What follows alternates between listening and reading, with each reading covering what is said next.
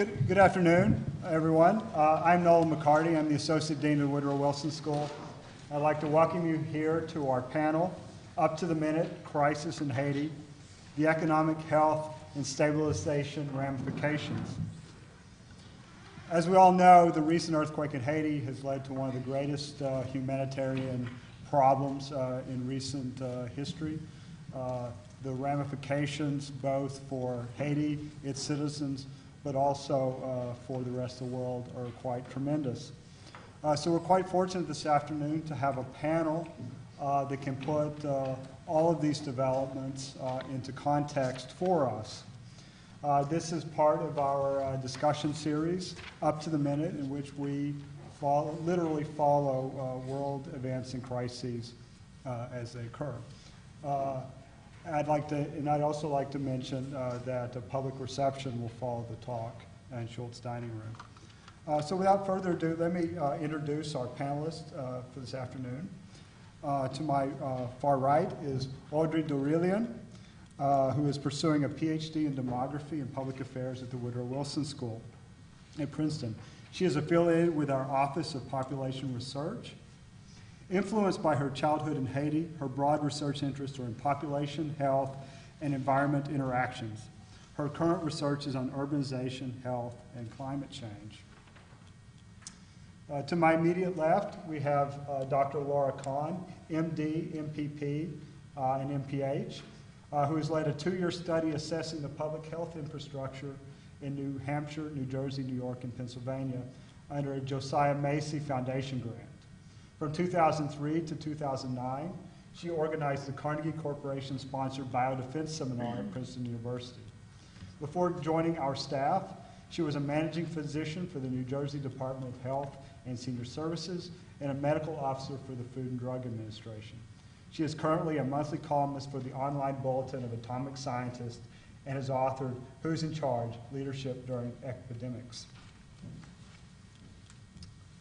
To my immediate right uh, we have Dean uh, Christina Paxson, who in 2000 founded uh, the, uh, the, Woodrow Wilson School Center for Health and Well-Being, which is an interdisciplinary research center uh, here at the school. During her time as director of CHW, the center started undergraduate and graduate certificate programs in health and health policy and took on the leadership of the university's Health Grand Challenges program. She's the senior editor of The Future of Children, a research associate of the National Bureau of Economic Research Program on Aging, Health, and Children, and a research associate of Princeton's Office of Population Research.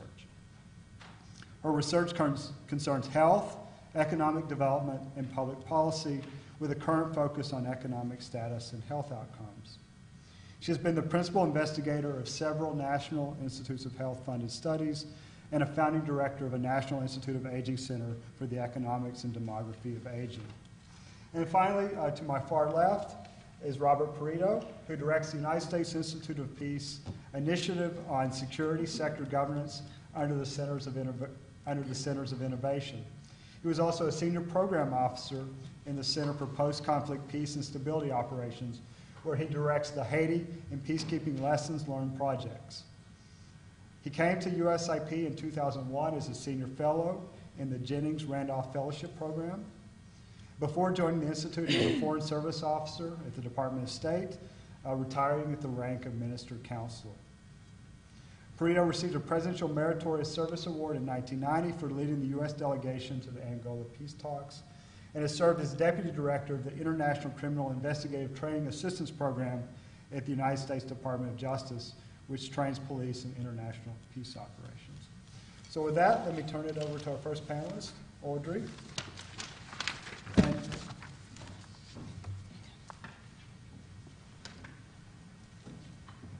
Good afternoon, everyone, and thank you for coming. Um, as um, I was introduced, I'm a third year doctoral student at Princeton, um, pursuing a PhD in demography and public affairs. Um, but I was actually born in Haiti um, and spent the first part of my childhood there, um, and actually left in 1991 in November, a month after there was a coup d'etat that had ousted President Aristide. but before I like, I actually, you know, the last time that I was in Haiti, was last April and was actually for my grandfather's 100th birthday. and I didn't think that, and I had planned on actually returning um, either in April again or this summer, but not really under these circumstances. Um, so as you may realize, um, I do have relatives in Port-au-Prince, especially in the regions of Delmas, Pétionville, Carrefour, um, and also outside of Port-au-Prince in Cayes, Jacmel, and La Vallée de Jacmel. But I was actually very fortunate, um, and all of my immediate family, we learned, um, were fine. Um, although, for instance, my father's brother um, actually lost his house. But even though my immediate family has been fine, um, it's still like everyone, you know, the, every there's not a single Haitian I know who doesn't know someone who was lost. And I think just like recently, yesterday, I was reading an article in the New York Times um, about some of the rescue efforts in the Hotel Montana, and they mentioned um, someone's name, um, Sarah Loture, and I was like, that name seems very familiar, and actually, you know, knew her. Um, like we, you know, she had gone to the same school and was actually from the, my cousin's neighborhood in Delmas. Um, so, but before I actually begin, I just wanted to reinstate that, like, I'm here to kind of give more of the human perspective, and I'm not, by far, not an expert on Haitian history, but I am going to um, give some key highlights of Haitian history and also, um, I guess, kind of culture, and as a demographer, some of the demographic facts that kind of um, illustrate why, you know, it was particularly so vulnerable. So um, I'm actually going to begin um, with just you know 1791 with the I guess the start of the revolutionary period in Haiti. So the, from 1791 until 1804 um, was the battle for independence, and I guess unlike the U.S., it was never like clear in terms of the sides. Um, there were many different factions. Um, there were the you know the slaves, the Maroons, which were free, um, which were slaves that had escaped and then there were the white planters, and then there were the free people of color, and then there were also um, the um, petits blancs, which were whites, but they weren't necessarily um, property holders. So during this period, um, I'm not going to go into much details, but like our war for independence didn't just start, wasn't didn't actually start as a slave revolt. The first battle actually started with the free people of color actually fight, fighting to try to gain um, more um, rights um, and stuff like that. But then eventually it did end up being a you know slave revolt, and in 1804 um, Jean-Jacques Dessalines declared independence. And one of the defining battles was actually in November of 1803, um, and I actually have a great great great I don't know how many great grandfather that actually fought in that battle, but um, yeah. so since 1804, um, there's I, I, guess like I always joke that in Haiti it's so hard to keep the to actually know the whole succession of all the leaders just because you know there have been so many and there has been very little long periods of um, just stability. Um, but I guess I'm just going to kind of skip a bit of time and just focus on nine, in this century, like starting with 1915. So actually, in 19, from 1915 to 1934, um, the, Haiti was actually occupied by the U.S. I'm not exactly sure as to why, but there was um, some concern of some growing um, German influence. And then also there had been a bloody revolt um, in 1915 in which the then president had actually been killed, but that was kind of in retaliation for him, I think, murdering about like 167 political prisoners that were actually coming from the, um, um, the elite families. But during the US occupation, um, almost all of the leaders in Haiti had actually been from prominent mulatto families. So after the US occupation in 1934, that kind of, there was of a reversal. And that's when, like, for example, Papa Doc in 1957, when he was elected president, he was elected, like, his platform was very different. It was just like embracing the black, the African roots, um, voodoo, um, and all that stuff. So my, so Papa Doc wrote from 1957 until 1971, his de- um, during, uh, until his death. And that's actually the time period in which my parents um, grew up in Haiti. And, and it, it was one of the most um, brutal regimes just because my mom actually uh, tells these stories that like you know no one was allowed to meet in groups um, like if you ever had like i forgot what you know a group of more than a certain number of students you know, you, you, you know, you could fear for your life. And it was like he did not tolerate, like, and it, was like he had the secret police, um, the Tonton Macoute, but also like it was I, am not sure, I wouldn't say it was a stability because um, it was, I guess, somewhat stable, but then it was at a high cost of human rights. Um, and yeah, and then even um, one of my um, great uncles actually was killed um, during that time. So Papa Doc was in Haiti from 1957 to 1971. In 1971, he passed away, and his son actually became president at just at the age of 19. Um, so his son was actually president until 1986. So I was actually, my parents were, grew up under Papa Doc and actually grew, um, was born under Baby Doc. Um, but in 1986, um, he was ousted. And then once again began the wave of a lot of turnovers. I think, I'm not sure even if I can think of how many leaders we've had between 86 and, you know, even now. There's been so many um, frequent turnovers. But in 1991, um, there were the democratically elected, you know, there was the democratic election, and Jean-Bertrand Aristide was um, elected president. But unfortunately, you know, but in, you know, just as in the past, I guess, in 1991, he was ousted um, by the military um, coup. And yeah, in 1994, he was actually reinstated. The, um, the U.S. actually came back into Haiti um, but he was, there was an interim government. And then in 96, actually, um, 1996, um, Préval, um, which was part of his political party, was elected president. And then Aristide actually re-ran in 2000. And in Haiti, you can be president twice, but you can't serve two consecutive terms. So that's why there's kind of been the back and forth. But the 2000 elections were actually highly contested, and a lot of the opposition um, did not vote.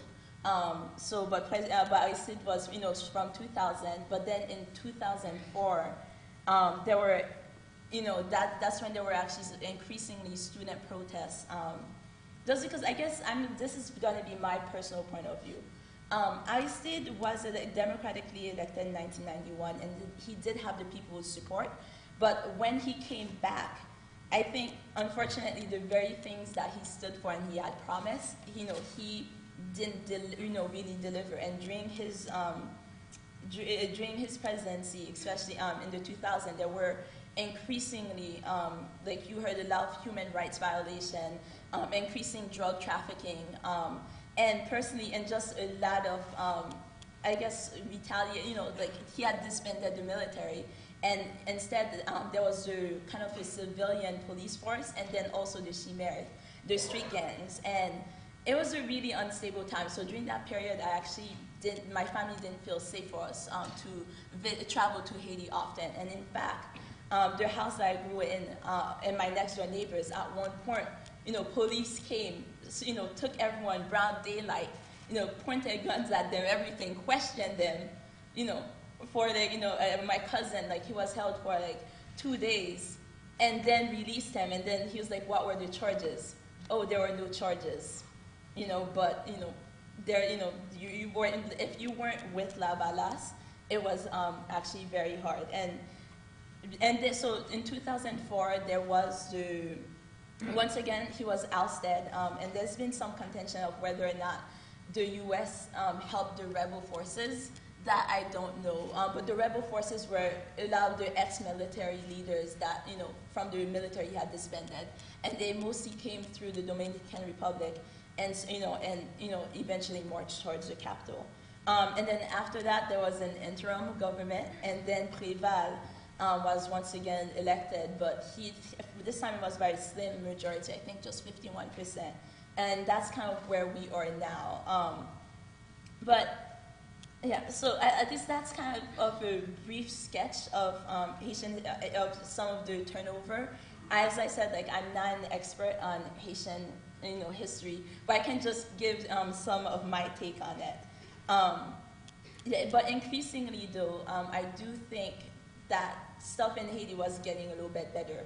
Once again, um, when my family left Haiti in 1991, um, we actually didn't realize that we were going to be, you know, permanently gone. My parents had actually just happened to obtain the visa at the, you know, during that time, so we actually planned on just being gone for a year.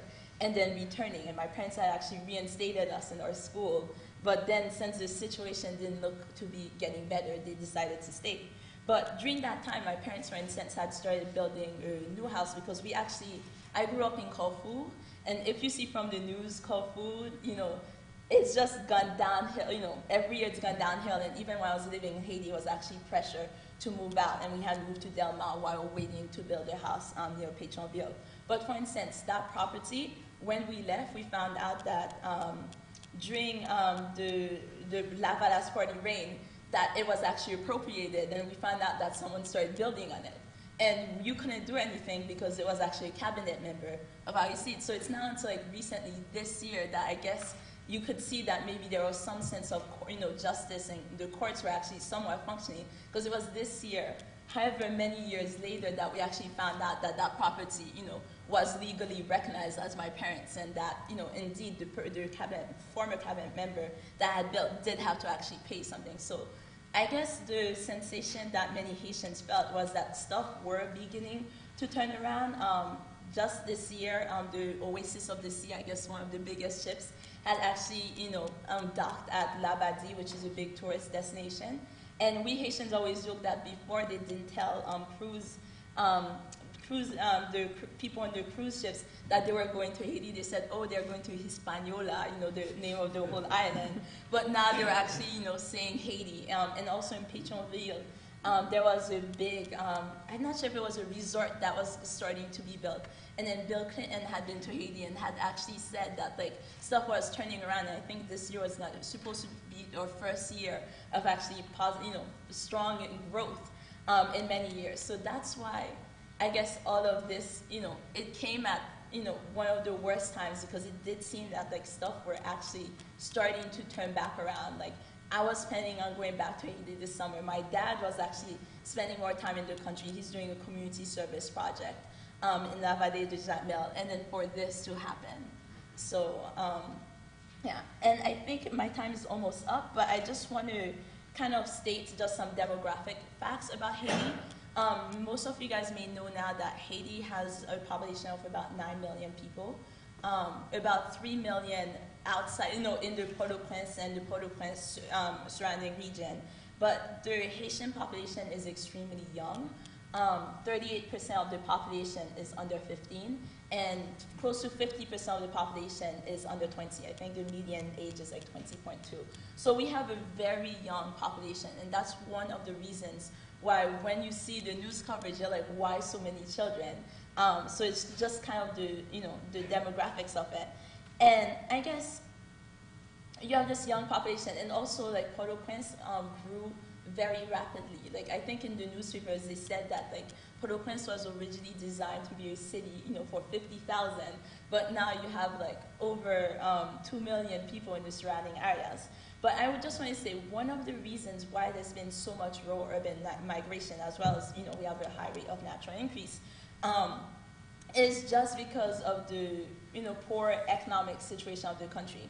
Um, and I guess that's where why sometimes people are a little nervous about American intervention, because in the past, Amer- you know, as with the occupation, Americans have intervened, but it hasn't always had the best outcomes. Um, in the 80s, there was a case of um, swine fever in the Dominican Republic. Um, and I think there were a few, you know, pigs that were infected, but it wasn't in Haiti. But the US um, DA, you know, recommended that they actually cull all of the Creole pigs um, in Haiti. So, you know, the Haitian government, you know, complied, and, you know, the Haitian Creole pig was called. But the, the pigs were actually like a, you know, form of livelihood for, you know, especially for subsistence farmers. You didn't have to do anything. Like, you know, they were natural garbage, to, um, you know, compost, like anything organic waste they ate. But the U.S. replaced that with like, you know, nice pink, I guess, American, you know, the pigs. But the, the pigs that the USDA provided needed a cement floor and clear water, something that a lot of the population itself doesn't have. So clearly that effort, you know, did not work and you know the Creole pig from other islands had once again to be reintroduced. So that's just like one example of um, you know I guess sometimes U.S. intervention that hasn't really um, been helpful. And I'm just going to give one other example. um, the Haiti, with, um, in terms of the IMF, um, we've had to uh, we've had to um, remove some of our tariffs. And one of the tariffs that they removed was on rice. In, 1990, in 1980, eh, um, Haiti was 80% self-sufficient in rice. Now, you know, that's not so. And I think like a lot of Haitians, we feel like that, you know, that's such, you know, at least uh, we feel a lot of, not anger, I'm not sure anger when we realize that the U.S. itself you know, heavily subsidizes its own um, rice industries. So it's not as if it's under perfect um, competition either that, you know, the U.S. is able to produce it at cheaper prices um, than, Haiti. But because of that, that actually devastated the Artibonite region, which is why a lot, you know, kind of like, um, once again, pulled more people to migrate um, to Port-au-Prince. So once again, the bidonville, the, in Port-au-Prince, as you see, it's, you know, there's the water, you know, low flat area, and then everything goes up. And as the name of our country, it's Haiti, which means mountainous land.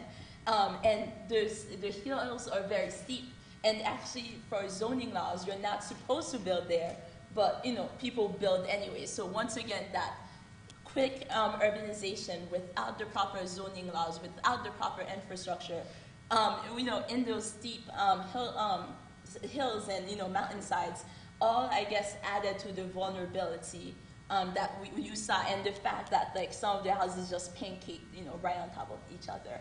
So I guess, you know, I kind of gave you guys, a, you know, a few fragments here and there, but that's just some of the, you know, things that, like, I as a Haitian and other Haitians, um, you know, you get a little feel for, like, some of the background that we come with. Okay, thank you.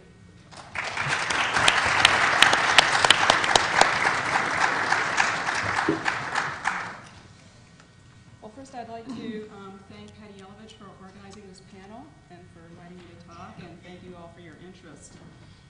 I think I'm the only one who has PowerPoint. Um, Before I start, I just want to emphasize that um, this crisis that happened in Haiti is not only a public health crisis, a humanitarian crisis, it's also a political crisis. And as Audrey pointed out in, in her eloquent speech uh, before me, um, Haiti's had a very long history of political instability, problems both internal and external, and of any country in the Western Hemisphere, if not perhaps the world, that could not handle a crisis of this magnitude, it would be Haiti. Um, so I'm going to talk about a number of things. First off, I want to talk about Haiti's baseline capabilities. Now, it has a number of uh, structures, health posts, health centers, um, hospitals that are nationwide as well as in Port-au-Prince. But um, beyond looking at just the structures, you have to look at what goes on inside those structures and what are they actually doing. And I was very interested um, to compare Haiti with the Dominican Republic. It's the same island. Uh, they have basically the same size population, but Haiti's had this long string of political instability. And I have to admit, I don't really know what the Dominican Republic's history has been. But when you look at some of the health statistics, it's really quite striking. So here they're the same island, same size population, but in Haiti, the probability of dying if you're five years or under is 80 per thousand live births. And in the Dominican Republic, it's 29 per thousand live births. Um, Haiti spends about $96 per capita, $2,006, uh, versus the Dominican Republic, which spends almost uh, $450 per capita. But what's most, um, uh, most concerning is that Haiti has one of the lowest vaccination rates in the world. Um, according to World 2008 World Health Organization UNICEF statistics, um, its vaccination rate's about 53% versus the Dominican Republic, which rates is about 80 to 96%. And I just want to explain a little bit about the concept of herd immunity and why this is so important. So no vaccine is 100% effective. And so in order to try to prevent spread of uh, communicable diseases, you need to vaccinate a certain percentage of your population. And for most vaccine preventable diseases, um, you have to vaccinate at the minimum 75 to 94 percent of your population to prevent the spread of, of these diseases. And it depends on the disease, it depends on the vaccine, and it depends on the underlying health of the population. So you can see that by no stretch of the imagination is Haiti meeting its population needs. And, um, and its children uh, are, are vulnerable to getting uh, these vaccine preventable diseases. In terms of life expectancy, it's about 61 years, although uh, Audrey's grandfather uh, certainly exceeded that. It's that whole town. Um, It has some of the highest infant mortality rates uh, under age five in the Western Hemisphere. Maternal mortality rates are, are the highest in, in the Western Hemisphere. Sizable fraction of its people are living with HIV AIDS, and um, 60% of the people lack basic health services. Um, and and um, UNICEF and other international organizations have been trying to make a dent in these statistics, but what's really needed is strong leadership, uh, security, a functioning government, um, and a commitment to investing in its people, which so far Haiti's not been doing. Now, the current situation, the earthquake damaged or destroyed at least eight hospitals around Port-au-Prince, and the remaining facilities have been overwhelmed, although money can function with the help of um, NGOs. But the number of dead is believed to be in the hundreds of thousands, and the number of injured or homeless in the hundreds and thousands. Media sources report that there are now cases of diarrhea, malaria, meningitis, measles, and tetanus. Measles and tetanus are, of course, vaccine preventable. And UNICEF, UNICEF does plan to vaccinate about 600,000 children under age five. But aid personnel are warning that supplies are dangerously scarce. There are shortages of analgesic and medications for amputations, and there's been tens and thousands of amputations as a result of this earthquake. Now, I can't stress to you enough how important political leadership is in a crisis of this magnitude. And nothing tests a political leader like a, like a disaster like this. And unfortunately, um, President uh, Rene Preval has not risen to the occasion. He's been uh, a rather absent leader. He's not rallied his people, inspired them, um, and in fact, uh, according to one media report, Reuters on January 24th, it stated that as he left Archbishop Miot's funeral, he was mobbed by people who were angry about the slow delivery of the service of aid, and some shouted at him to quit. Now, in terms of basic public health needs, um, of course, the primary need is clean water. Um, and I've not been to Haiti, but I would imagine since it's in the Caribbean that it's got a rather hot and humid climate. Is, is that correct? No. Hot and humid. And so you need adequate hydration, even in the best of circumstances. And people can survive for a number of days without food, but you can't survive very long without water. And in particular, um, if young children, the elderly, pregnant women, and nursing women have less reserve uh, to survive without clean water than others. So this is your number one priority in this type of crisis. In addition, there's sanitation and hygiene.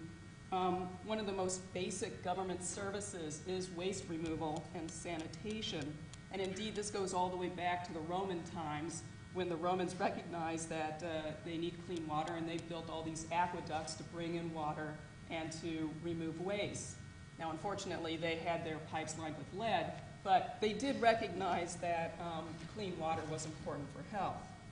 So one of the signs of government failure is outbreaks of cholera. Um, and again, some of the people here are developing diarrhea. Um, cholera is a bacterial disease that's transmitted from water contaminated with sewage. Um, and cases of severe diarrhea can lead to dehydration and rapid death if not treated. So Haiti is at risk for a cholera epidemic uh, if there is not adequate clean water and sanitation. Other diseases that signal poor sanitation include typhoid, hepatitis, and other gastroenteritis. Food and shelter is another basic need, and it's reported that up to 1.5 million Haitians have lost their homes. Now, I want to say before I get to my next slide that I have some pretty graphic pictures. So if anybody gets disturbed by these, I'm warning you now to avert your eyes. But I think it is important to understand what you're dealing with when you have a massive earthquake and lots of crush injuries.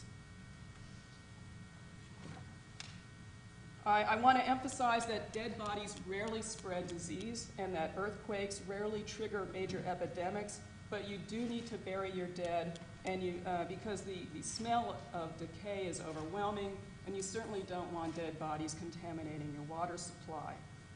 Now, crush injuries are among the major concerns with earthquake victims. Uh, they need to be uh, surgically treated, frequently amputated. Uh, but in addition, the victims need to get massive amounts of intravenous fluids because what happens is when the tissues get crushed, they release massive amounts of the intracellular components uh, into the bloodstream, uh, sludging the bloodstream up and going to the kidneys. Uh, the kidneys are one of your major filtering systems, and if they get sludged up from all the materials that are released, then they go into failure. So even if you do manage to amputate the limb and you're able to remove the damaged, uh, damaged uh, part of the body, the person can still die because of overwhelming kidney failure, and they can also die from uh, wound infection. Uh, so you need to have uh, enough antibiotics. People are going to be inhaling dust from collapsed concrete, and all of this requires intensive care. And from what I've been reading, there's an acute shortage of nurses. Lots of doctors have rushed to, uh, international doctors have, have rushed, but um, unfortunately, not enough nurses. And that might be a, uh, a demographic effect, a lack of ability for nurses to leave their positions. In terms of uh, health relief efforts, um, there have been uh, efforts by many countries to, to aid Haiti. Um, United Nations agencies, non-governmental organizations, and one of the keys for all of this is, of course, coordination and leadership. Uh, and one of the complaints that I had been reading about is that it seemed to be rather disorganized and scattered, and everybody kept asking who's in charge. Uh, so you really need to have, uh, again, uh, governmental leadership. In this case, the government was literally crushed. Uh, the leader is absent and weak, so they had um, a lot of uh, an overwhelming situation. And finally, in terms of rebuilding, I'm just going to briefly mention this because I know the subsequent speakers will be going into this in more detail.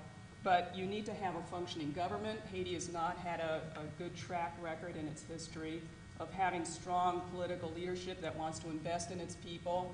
Rather, they've tried to extract all of Haiti's resources for their own, for their own benefit. Um, you need to have adequate security, economic development, infrastructure replacement, education, qualified health personnel. Um, and this is going to take a very, very long time, perhaps decades. And with a very short attention span by the media, it's not clear if Haiti will get the attention it will deserve over the long term when the next crisis, which will certainly occur, uh, will distract the, uh, the media and uh, world attention uh, and move it away from Haiti. So thank you very much.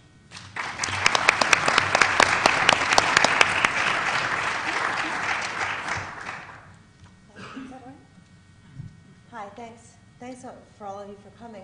I, I wanted to talk about two things. One, very briefly. I think there, there are two reasons why I'm on this panel. I am not a Haiti expert.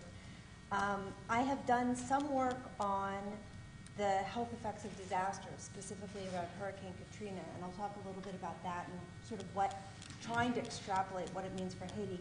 And also, I'm a development economist, and I think it's good to sort of go back to some development basics and think about what this country needs in order to get back onto the kind of growth track that Audrey suggested it um, was on, ironically, uh, before this earthquake took place. So let me tell you a little bit about mental health post-disasters. Uh, I, have been for the last three, four years, uh, almost five years now, since um, the hurricane, tracking a group of people who were in New Orleans, low-income families, prior to the hurricane, and we've been sort of following them as they've moved around the country and looking at what happened to their mental health and their health outcomes over time. And, you know, even for this group, we've seen uh, really pronounced effects. There are doubling in rates of depression. Uh, about 30% of the people who are in our study uh, about a year and a half after the hurricane had severe symptoms of post-traumatic stress disorder. Now, there are big differences between Katrina and, and this event now. And one, and I think the most important thing is that while people from New Orleans suffered a lot, they did not suffer prolonged deprivation. They weren't, you know, still three, four weeks after the event um, needing food and water. So, and that deprivation is related to the effects that come later, the extent of the deprivation. And the other thing that I think is very important is that people from New Orleans could leave, right? There were places to go that were stable and safe and that had food and water and housing. And even though these places weren't always wonderful, they were there. And so when you look at Haiti right now, you see a very different situation where you have prolonged deprivation and you really see, you know, people can go out to the country, but still, I think it, it's a very small country, and um, I think we can expect the effects to be uh, substantially worse than what we've seen um, post Katrina. So that's one piece of, I think, bad news.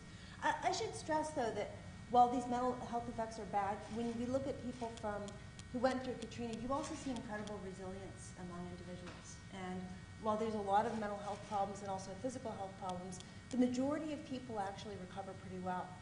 And it, so it's kind of astonishing to see just how, how well people themselves back together and keep going. Um, it's quite impressive. So let me turn to economic development. And it's funny, I didn't talk to Laura before this presentation, but I had also written down some statistics comparing Haiti to the Dominican Republic. Because I, and of course, I focused on economic statistics, not health statistics, but I, the, the comparison is very instructive. You know, you have two countries, they're together on the same island, they have comparable resources, natural resources, or at least they did at one time. Um, the gross national income per capita in the Dominican Republic is seven times that of Haiti, or it was prior to the earthquake, so quite a big um, uh, difference. Uh, Haiti uh, has more people living in rural areas, larger fraction of the population or dead. Uh, a larger fraction of its gross domestic product comes from agriculture, but I want to come back to that. There's a difference. Exports are much lower in Haiti than in DR. Only 14% of GDP is exported. Uh, and official development assistance is much higher. There was one statistic that came out of the World Development Indicators that I thought was really interesting, and it's something that also I want to come back to. I don't know where these get where they get these numbers, but they make good factoids, and even if they're right within an order of magnitude, they're still interesting. They have a statistic on the number of days it takes to start a business, and the number of days for the Dominican Republic is 19, and the number of days for Haiti is 195. So I, you know, I think when you look at these statistics, you get a sense of an economy where, you know, even before the earthquake, it was functioning really badly.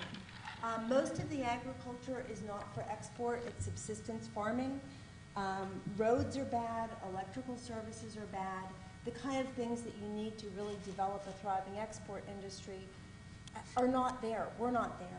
Um, whereas if you look at DR, you see um, agriculture for export, coffee, sugar, tobacco, some tourism, some manufacturing, things like that. Uh, one bright spot in Haiti just prior to the earthquake is that through an act called the HOPE Act, H-O-P-E. I, I don't remember what the acronym stands for. But Haiti has tariff-free access to the U.S. Um, they had set up a couple export processing zones, one in Port-au-Prince and one in a town along the border of the Dominican Republic, uh, and were really starting a fledgling export garment um, sector, which was bringing in some income, and that was a bright spot.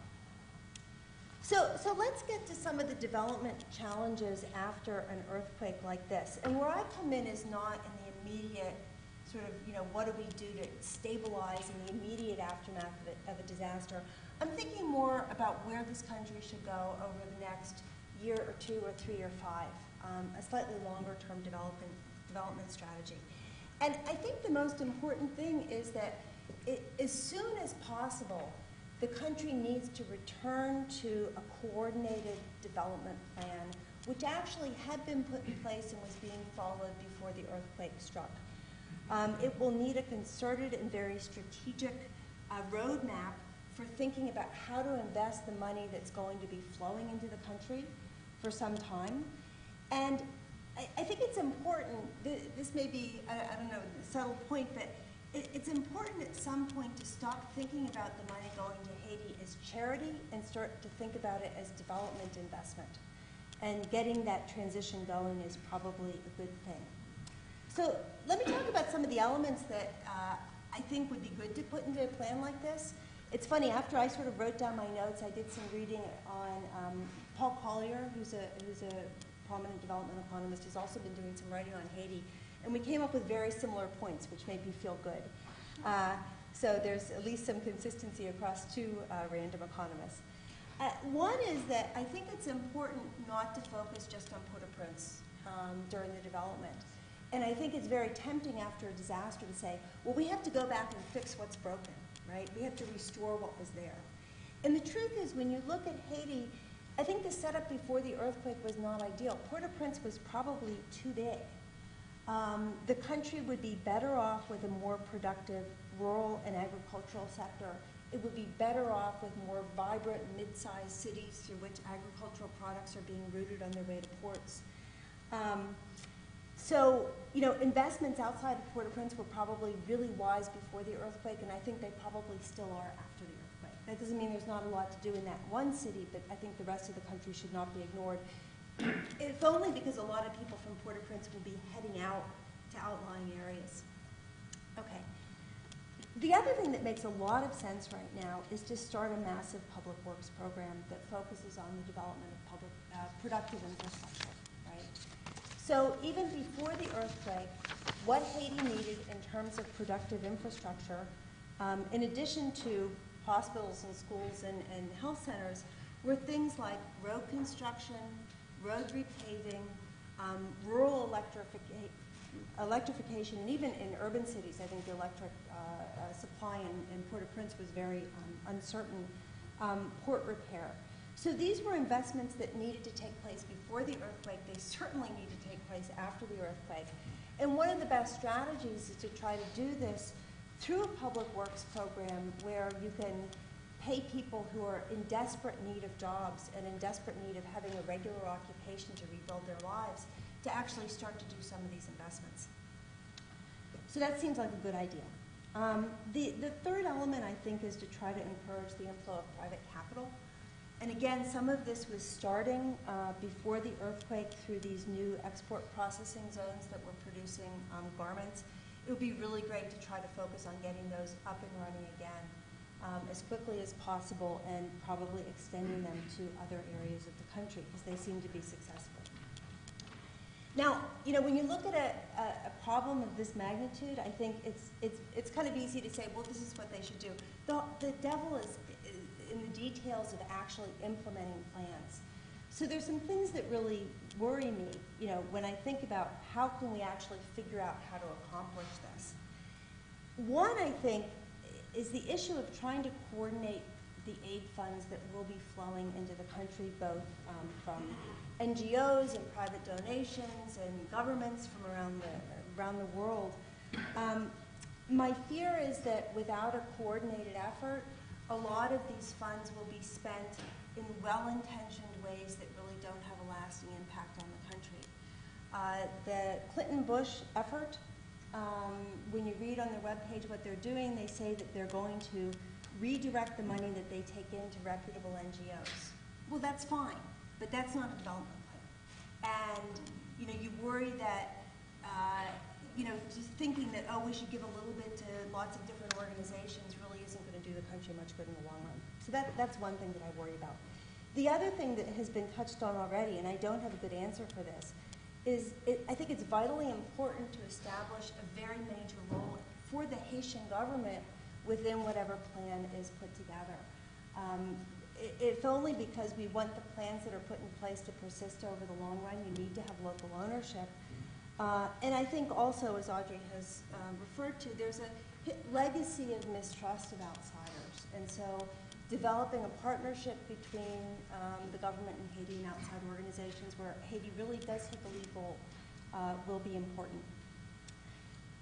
the last thing that I want to mention, actually one more after this, but I'm almost done, is that there's a huge scarcity of human capital in the country. And that was true before the earthquake. Uh, a lot of people who are well educated have left.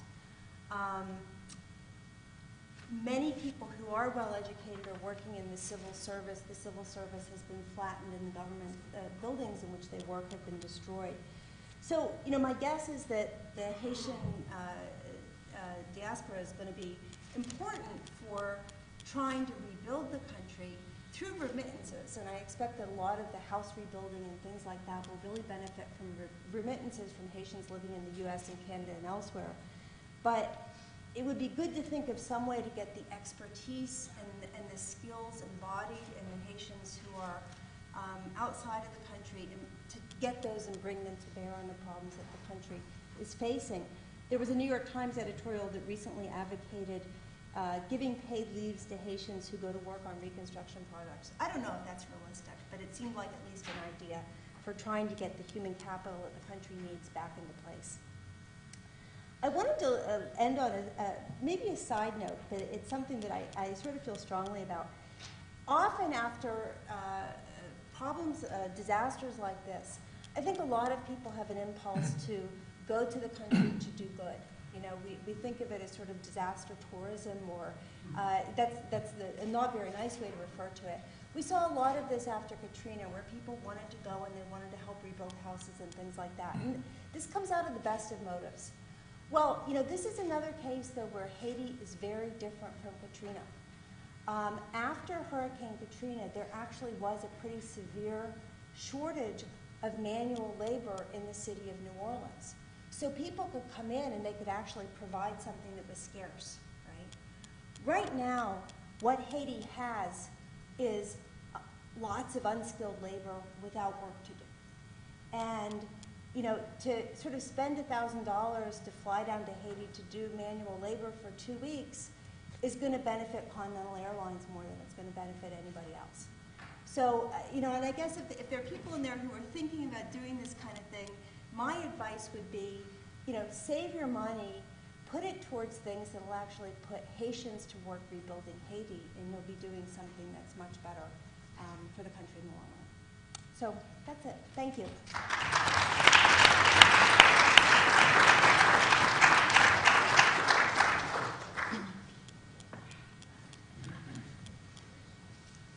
Good afternoon. Um, My name is Bob Perito. Um, I work at the United States Institute of Peace in Washington, D.C.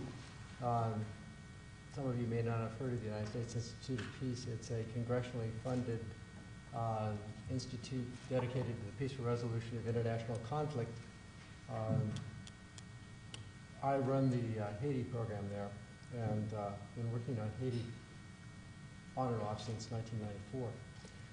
What I'd like to do as the last speaker here is to kind of fill in the blanks and provide some context from, uh, for other things that you've heard from the other speaker and try to give you an understanding of uh, perhaps a Washington uh, and uh, Haitian perspective on this. Um, I'd like to start my uh, history in September 2008. In September 2008, Haiti was hit by four tropical storms in a row. They lined up and one after the other hit the island.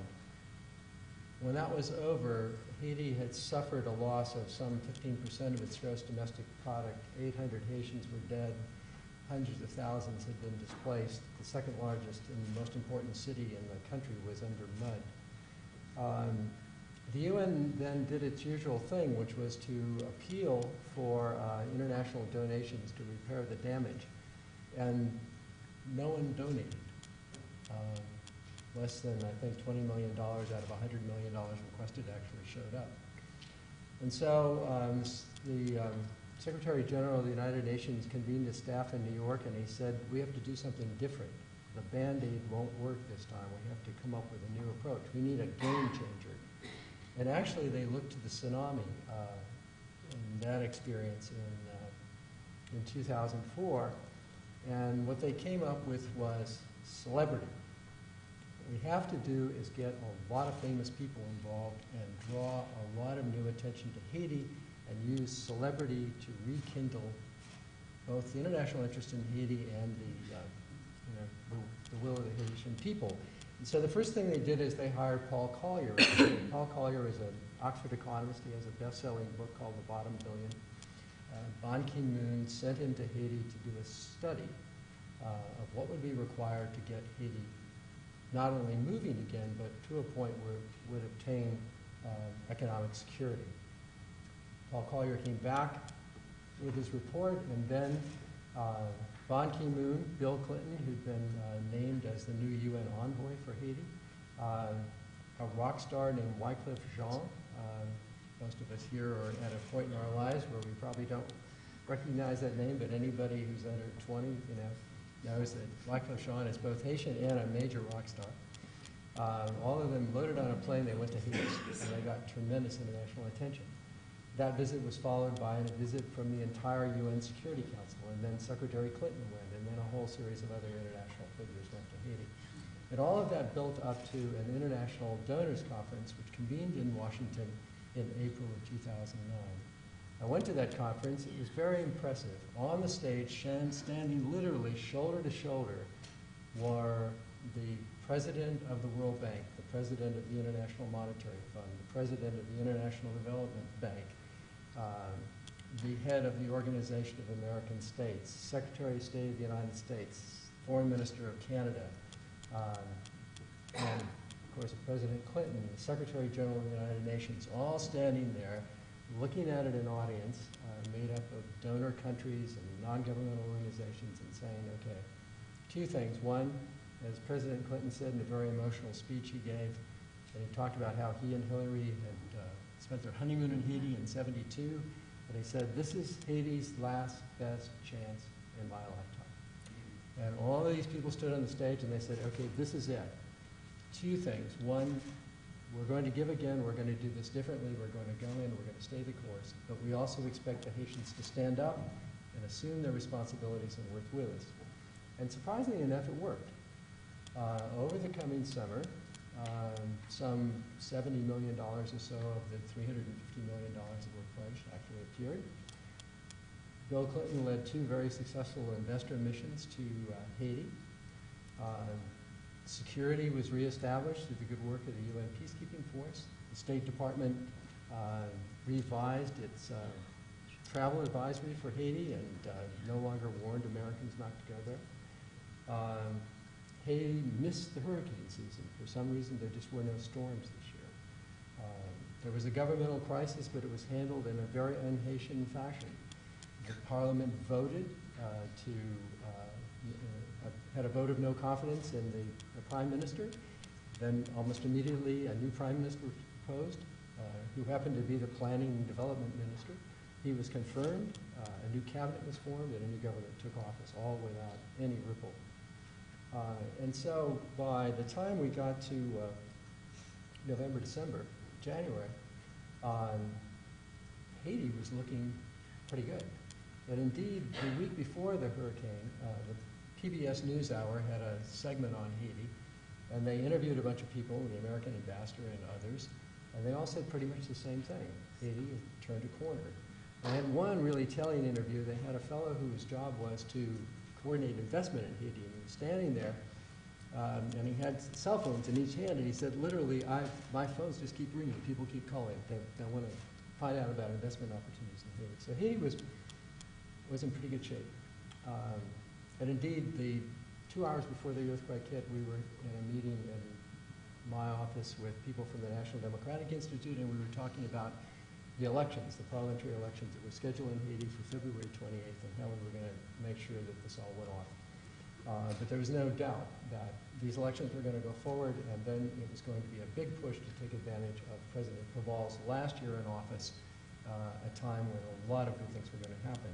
So when the quake hit two hours later, this was not only a physical shock and a total surprise. It was a psychological shock and a total surprise. Nobody was prepared for this. There was truly, in fact, no warning. The quake did many things, and we've heard those described um, graphically, but it did two things that were particularly important uh, in terms of the recovery. It destroyed both of the centers of authority in the country.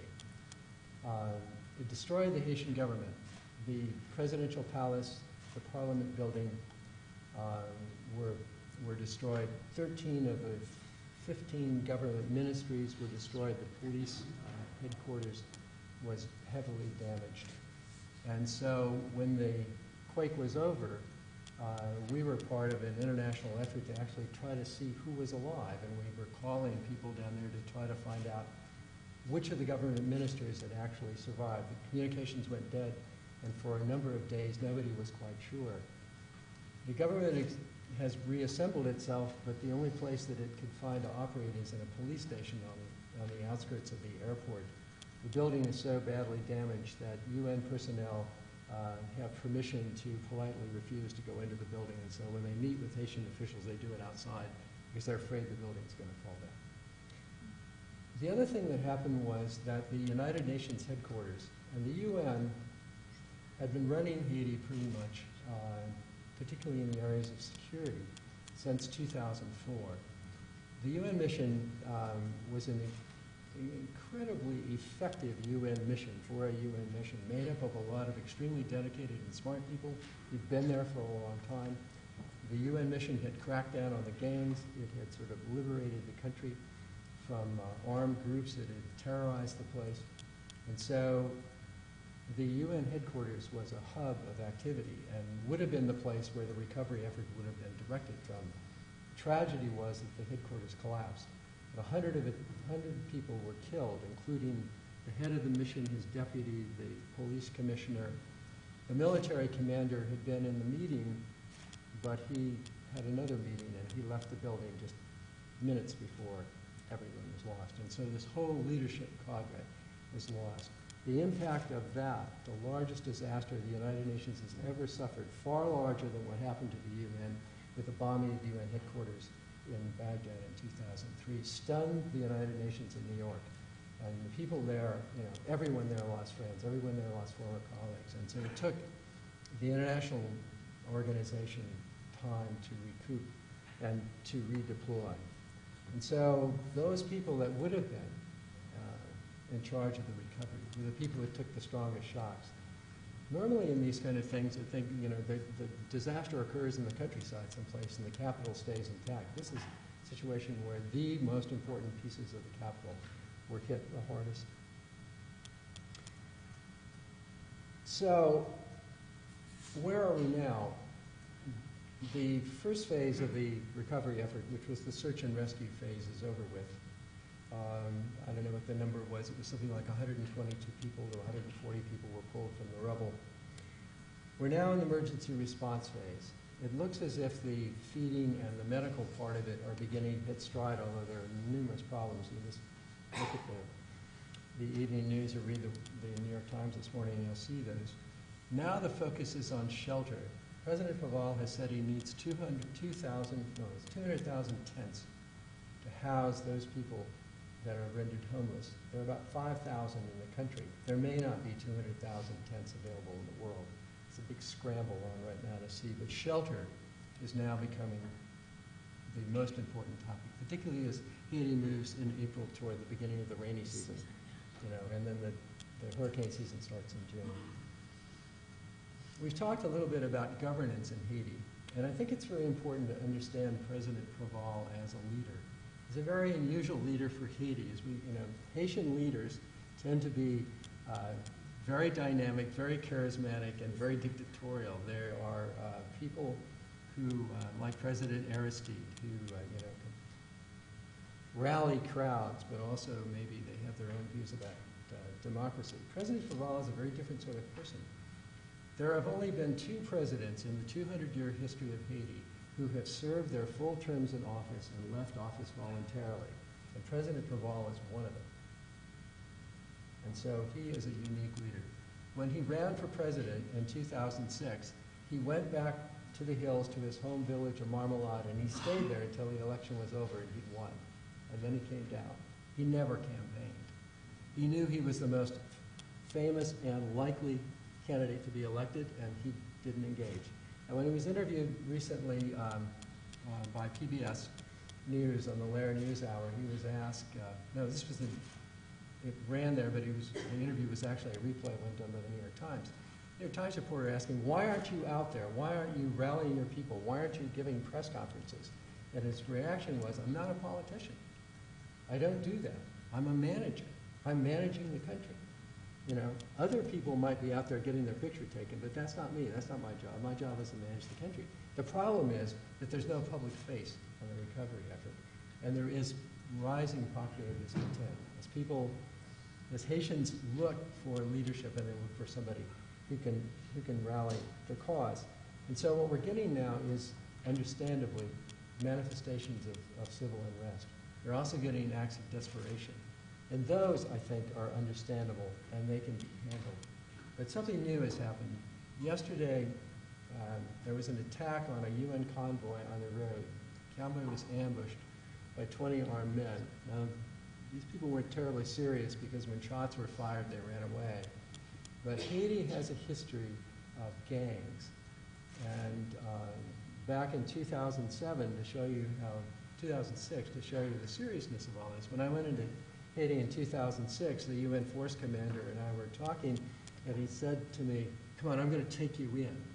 So we got in this Jeep, we drove down to Cité Soleil, we got into an armored vehicle, we put on body armor and helmets, a armored, a, an armored personnel carrier, a small tank pulled up beside us, full of Brazilian Marines with their weapons up, and we went into Cité Soleil. And we walked around, and uh, with the Brazilian Marines providing a cordon, and uh, you know they showed us what they were doing. And I had a quintessential Haiti experience. I'm sorry, I don't mean to offend, but uh, the Brazilian Marines walked by a pile of rubble, and they said, "This was the police station." And I said, "We're going to rebuild this police station." And I looked at that pile of rubble, and I said, "In 1994, I worked for the Department of Justice. We rebuilt that police station." You know, and it went up, and then in the subsequent rioting and stuff, it came down again, and now I think it's been rebuilt again. Uh, so, you know, and so we went around, and the Haitian Marines said, you know, we get, uh, the Brazilian Marines said, you know, we get shot at every night, we take harassing fire every night, you know, and then two days later, two Jordanian soldiers were killed right in the spot where we were standing. So it was a very serious situation. In 2007, the UN went in, and in a series of firefights defeated the gangs, and restored peace to that area. And then when I was back the next time, I walked around in Soleil with a group of American and Haitian NGOs and, and without an armed escorts. So, okay, so Haiti, Haiti has a, has a criminal gang problem, and that gang problem can come back because one of the things that happened during the earthquake was the major prison in Port-au-Prince uh, didn't exactly collapse, but whatever happened to it, the guards left, and then so did all the prisoners. So all of those gang leaders that were rounded up in 2007 are now back on the streets. And so this is a potential problem. Now, what has been the U.S. response to this? Well, one of the first things we did is we've sent in the Marines, which is something you've heard we do periodically. Uh, this time it's the 82nd Airborne, a combat brigade with a battalion of Marines. Um, and so, in a certain sense, the security situation is under control for the moment. The question is, how long can those people stay? Uh, I was on a panel the other day with some military experts, and they made the point that, okay, uh, the United States has one combat brigade in reserve. As you know, we have a few other things that are going on in the world where the U.S. Army is, is busy right now, and so we have one combat brigade in reserve, or we did. Now that combat brigade is in Haiti. There is no emergency response force anymore. That combat brigade can't stand Haiti. It has to come out, along with the Marines, uh, along with the engineers, along with the flotilla of ships that are sitting off the coast. And so this is a understandable and, and uh, necessary response, but it's a response that we can't last, that can't sit there forever. The UN has done a credible job of trying to reconstitute itself, and the UN peacekeeping force has been in the field. They've added a 1,500 new personnel, they brought in new police, but that is a very limited force. It's lightly armed, it has three helicopters at its disposal, it's hard to get around in Haiti, as you know, and so that's not really an answer to Haiti's security. The Haitian National Police, which I helped train for the first time in 1994, uh, by 2004 had dwindled down to 2,500 men. You can imagine 9 million people with 2,500 cops. The population of New York City is 9 million people. How many people in the NYPD? 40,000. So, I mean, Haitians are law-abiding people, but they're not that law-abiding, that you don't need more police. All right, so the UN has rebuilt the police force up to about eight to 9,000 personnel, but most of those police were trained in the last year to year and a half. So you have a police force made up of rookie cops. The police force lost somewhere between 300 and 350 personnel, not clear, because a lot of those people just haven't reappeared. But a lot of the Haitian National Police have not come back to duty. And one of the first things that needs to be done is we need, and President Préval has asked the U.S. for this, about 500 tents to create a tent city so that we can create a place for the Haitian National Police and their families to live, so that they can be taken care of, so that the police can go out and care for other people. That hasn't happened yet, but that's the kind of first step that has to be undertaken if we're going to make this work. So the challenge that you've heard about from, from Dean Paxson, the economic challenge, is important, but it is a challenge that must be confronted at the same time we confront another challenge, which is the one of security and the establishment of the rule of law. The Haitian ambassador spoke the other day on a panel that I was on, and he was asking the audience, you know, what is the first thing we have to do? And his response was, we have to reestablish the rule of law. If we don't have a functioning police force, if we don't have a functioning judiciary, if we don't have effective prisons, then we're not going to have security. And if we don't have security, then the rest of this will never happen. We will not be able to go out and do the kind of things that are happening. Um, as you've heard, one of the things that has happened in Haiti following the coup is that people in Port-au-Prince, which had about a third of the population, sometimes Haiti, uh, it's called the Republic of Port-au-Prince because everybody lives there, in the capital city. The people who had moved into the capital are moving out, and they're fanning out across the country. Okay, that's a positive step because it's decentralizing the country. It's also returning people to their roots. But the problem is that these people are going to need assistance too, and what it means is that the, the uh, relief and rehabilitation program has to follow them. And the Prime Minister of Haiti said the other day, our people are leading us, we have to catch up with them. And so while decentralization, as you've heard, is a really good idea in terms of development, and everybody now seems to be pretty much focused on decentralization as a goal of the reconstruction effort, um, we have to catch up. And it's going to be more difficult than it, than it might otherwise have been if Port-au-Prince had been intact and we could have operated from there. Okay, so we need to do a few things in addition to everything else you've heard. Obviously, it's a major crisis. We're confronted by all kinds of, of problems. But among, in addition to the, uh, repairing the economy and dealing with the health situation and restoring the education system, we also need to think about restoring the rule of law. And that's going to require the following. It's going to require, first of all, to make sure that the UN stays in place. The UN force is there on the basis of a mandate which was renewed by the UN Security Council every year. It's very important that that mandate be renewed and that those countries which are contributing forces continue to stay in the mix. So that's the first thing. And the second thing that has to be done is that the Haitian National Police, which is currently a kind of interesting force, it was created by the United States in 1994. I had a hand in this. Um, it looks very much like a metropolitan police force in the United States. And that's because the basic plan was done by a guy who was the deputy chief of the Los Angeles Police Department. There were other parts of the plan, I'm told. Um, if you read this thing I, I gave you, uh, it says that it was modeled after a, an American Metropolitan Police Department. That was at about two minutes before the guy who'd been the chief of police in Savannah, Georgia, called me up and said, no, I was part of that and you're wrong. He said, we had the New York State Police as our model because we wanted a force that could do not only cities, but it had to do the border, it had to do the ports, it had to fight terrorism, it had to do all these things. And a state police force in the United States can do that. And so we need a new national security force for Haiti, not an army, because that's, That- that's nasty. You can't do that.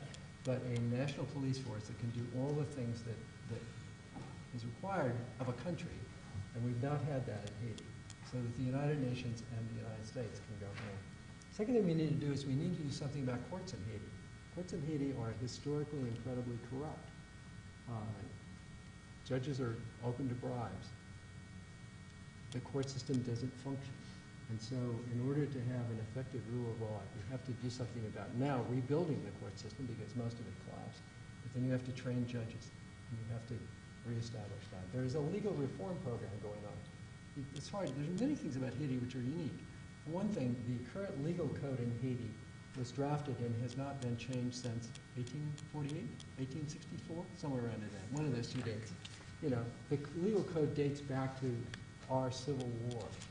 And so there was a, there is a program going on now to revitalize that. That program has to be brought to fruition, and then a functioning court system has to be created. And finally, somebody has to do, somebody has to do something about prisons.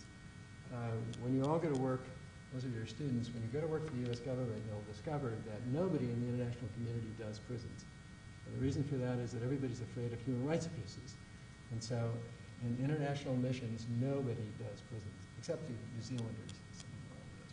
Anyway, and so Haiti has a functioning police program that has some interest in courts, but nobody's working on the prison system. And so a new prison has to be built, not the one that dates from the 1800s that fell apart, but a new one, and then something has to be done with that. The other day, interestingly enough, I called the UN and I said, what are you doing? And the guy said, you know, what we're doing is we're looking for a prison barge. The United States government, the United States Navy was out spending two days trying to find a prison barge. And the idea was, since no, there are no functioning prisons anymore, we're going to sail a barge down and anchor it off the coast of Haiti and then use that. We have the U.S. aircraft carrier, the Vinson sitting out there, and that's sort of operating like an airport. You know, we have other floating things that are off the coast that are U.S. that are, that are providing assistance, and so we need a floating jail. So I don't know, I haven't heard that they found one, but anyway, that's the next thing on the list. Okay. If we were, the international community and the Haitians working together, able to create a functioning judicial system, it would have an amazing impact upon public trust in. One of the big problems with the Haitian situation is that Haitians don't really trust their government, and with good reason. There is a legitimacy problem. If we were able to establish the rule of law, that would do as much as anything toward, uh, you know, solving that problem. Okay, well, anyway, thank you very much, and uh, look forward to your questions.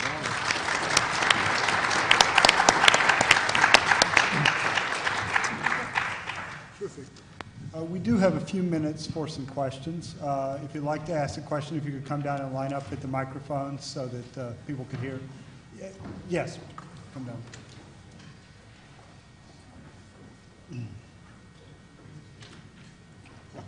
Right, right there at the microphone. Yes, my name is Hoffman. I taught at this university for a long time. It seems to me there are two dimensions that haven't been mentioned in all this discussion. The first one is we all talk about development. We're going to develop the country. We need development. What development? If you read the UN report of 1946 on Haiti, which was uh, requested by President Estimé, you will see that it is almost a hopeless report. It's a very good report, very complete. I'm sure you know it, sir. And uh, the conclusion of the United Nations was the Haitian government should organize rapidly massive emigration of its people, which is in fact what happened. About 3 million people have left Haiti. So there is nothing in the ground in Haiti. There is no oil, there are no minerals, there's nothing to exploit. That's a fact. There is no longer anything on top of the, of the soil. Erosion has ended for all intents and purposes, I think. There is relatively very little education in Haiti. About 70 to 75 percent are functionally illiterate. What are you going to develop and what are you going to develop it with? And second, and I'm sorry to take so much time and to be so negative, but I think we have to be clear about what we're doing. The second thing, we talk about the Haitian government as if it was some sort of Western government like the American or the French or the German or the Swiss government. It isn't. In the history of Haiti, history has been, uh, Haiti has been ruled entirely by about 5 to 10 percent of the population who have never in its history done anything to develop the country. They have not developed roads, they have not developed schools, anything else. This is again something that we should not Okay. forget. uh, I'm sorry. any question? Uh, Would you like to take that? or- Yeah, fine, thank you, thank you very much. Um, There's, there's a great deal of truth in, in what you've just heard. Um, And there are people that have offered other kinds of solutions. A couple of United States senators recently said we ought to have a UN trusteeship for Haiti. There are other things. The trouble with all of this is it's irrelevant um, in the sense that Haiti is, is a fact. It's not going to go away. The people of Haiti are not going to leave the island. Uh, The Haitian government, um, for good or ill, is going to persevere. The international community is committed.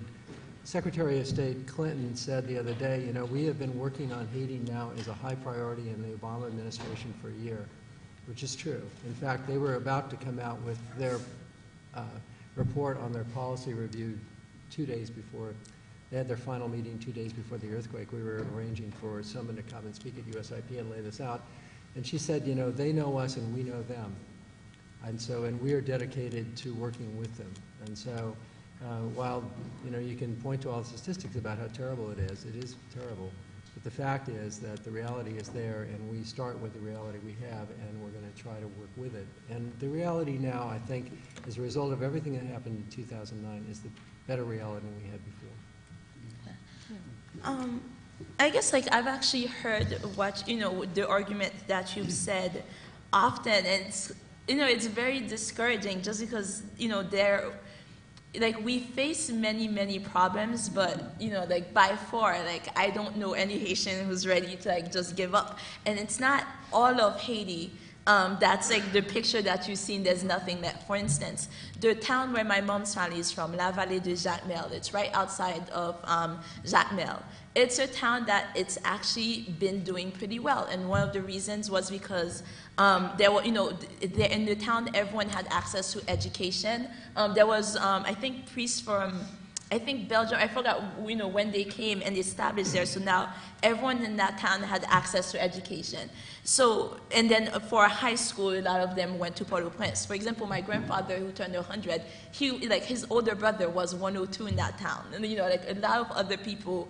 Um, it, it, it's not like all of Haiti is completely deforested. And when you see that town, there are roads, and the roads are, you know, some of the people who have left, um, you know, they have like sent money back. And I have uncles that are civil engineers, build roads. Um, you know, you know, there's in terms of like building solar panels. Like I went to my grandfather's house.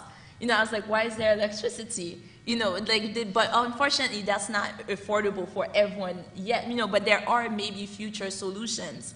Um, and also, so like, if you go to La Vallée de Jacmel, you do see an educated population. There are roads, there's a hospital, and everyone in that town, like, that's one of the towns where you actually see there is a sense of community. So when I see a place like that, you know, I do feel like, you know, that could be replicated in other places, but at the same time, I see the town where my dad's family is from. That's almost the complete opposite, where you have, like, you know, you don't have a good school system.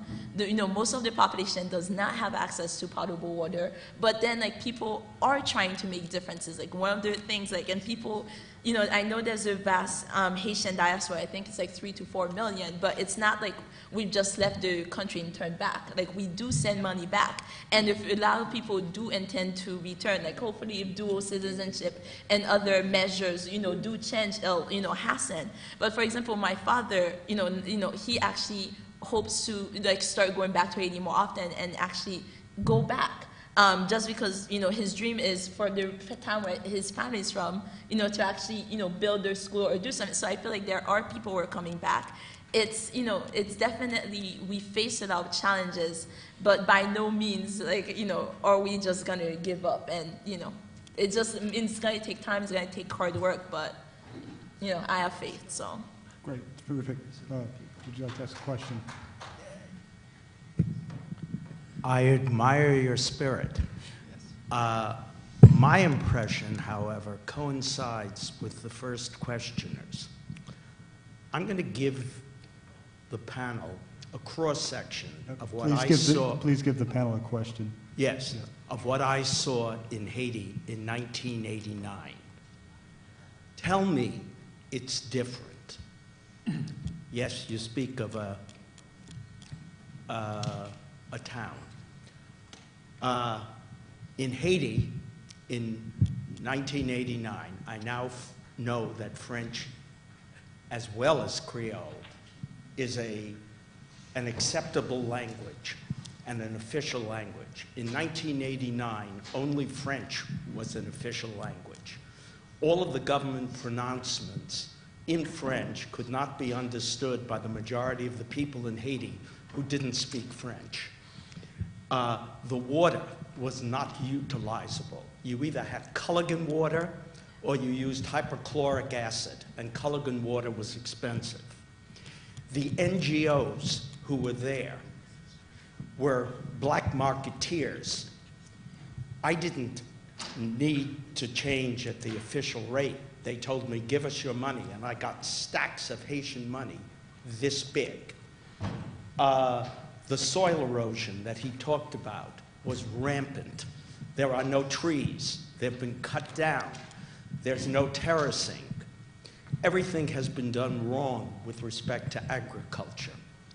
The fishing off the coasts that should be some of the world's richest fisheries, the reef is dead. Could, could I interrupt you for a second? Because I think other people may have questions, and I, Well, those know, are the I- things. I Tell me under- it's different. Well, I understand that the country's had a very troubled past. I think it, it would might, maybe be wise to go back and read the report that I referred to and that um, Bob referred to that Paul Collier wrote about development opportunities in Haiti.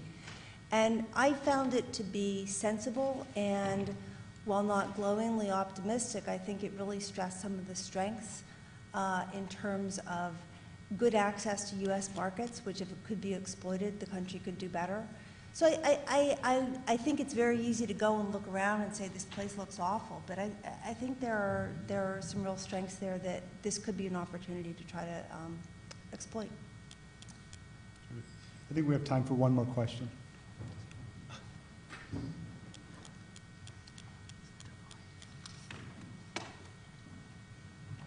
Yes, uh, two quick questions. Uh, Mr. Perito, you mentioned that prior to the earthquake, there was some optimism in terms of uh, international or foreign countries, foreign companies investing. Right. You- Can you name any, like, American companies and what kind of industries that they were thinking of investing in? Yeah. And the other question had to do with the uh, possible misappropriation of funds or aid that I think uh, Professor Kahn had talked about, alluded to. Can you, is that responsible for, is the responsibility of that from the uh, the current administration down in Haiti? Or can you expand on what, what transpired there with the uh, misappropriation of, uh, of aid? I, I- I don't recall talking about the misappropriation of Maybe that's not the funds. term you used, but you said that there's been some difficulty. I for- I There was forget if you- difficulty getting, you know, support, just, just getting the materials needed. But there's no evidence of, If, if there is, I'm not aware of it. I'll, I'll just wait for your, Okay, yeah, on, to take, the problem of corruption in Haiti is well known. About two years ago, Haiti was number one uh, on the list of the, of Transparency International's most corrupt countries. So it's down to around five or six now, but, but Haiti does have a, a problem with official corruption, and it, and it manifests itself in, in a kind of difficult way that will be probably exacerbated by the current situation, and that is that uh, is often called the Republic of NGOs. There are about 6,000 NGOs that work in the country.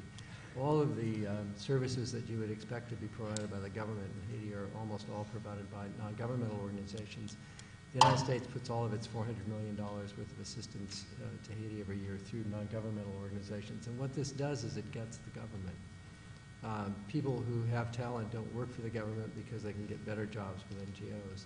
And so th- the government itself doesn't really function. Um, we've heard that from other speakers. And so one of the things that has to happen now is that there has to be a program of almost forcing money through the government, through the government budget, and then monitoring that, that money to make sure that First of all, those people that have these responsibilities in the government are trained to do their jobs and that they do them. So that's, that's a big part of this. And the other piece of the question dealt with what? Private investment. Pri- Private investment, oh, yeah. Just to give you three quick, uh, three, three quick examples. Uh, The HOPE legislation that you've heard provides uh, trade incentives for garment manufacturers in Haiti. They can use materials that come from China that are very cheap, manufacture them into garments and sell them in the United States duty-free. This is a terrific opportunity, and it's available to the Haitians until 2018. Uh, This had generated about 28,000 new jobs um, in the period of the last few months, Uh, and it was beginning to to pick up speed. Hanes is a a company that has a a fairly modern plant that manufactures underwear, for example. That's one.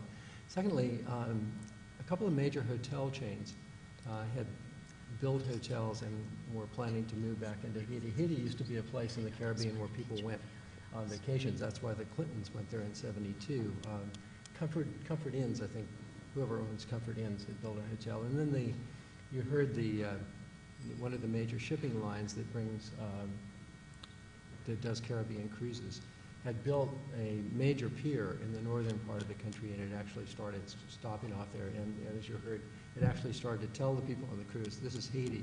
You know, it's not Hispaniola, but it's still safe to go ashore. Haiti has beautiful beaches. Yeah. You know, there's a lot of possibility there. And the town of Jacmel, which you heard referred to, looks like New Orleans, or it did. Yeah.